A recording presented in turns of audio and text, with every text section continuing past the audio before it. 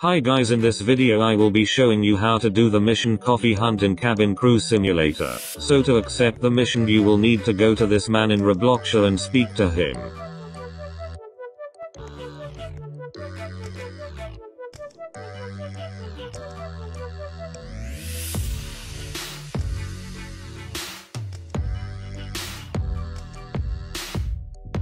You will have 25 minutes to do this. All 6 coffee cups are in Seattle so just make a flight there. And like always use the starter plane. I will skip the flight so you don't have to watch me.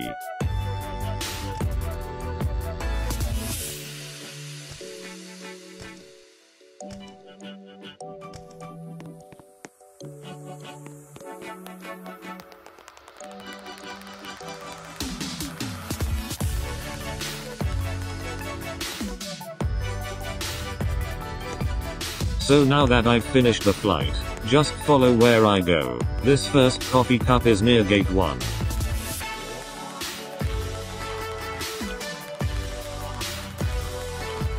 Here it is on top of this. Next coffee cup is near gate 4 and 5. Here it is. Next one is quite hard to see but it's just over here. The fourth one is just on top of the security.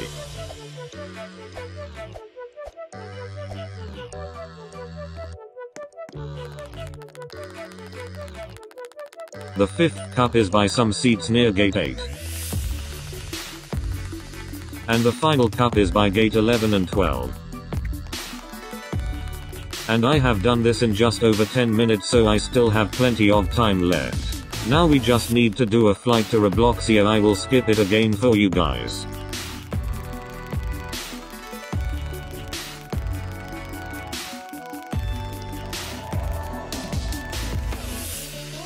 Now we have to go to the start of the airport and talk to the person again.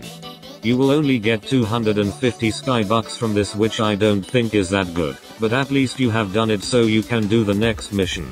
Hope this helped and like and subscribe if it did. Thanks for watching bye bye.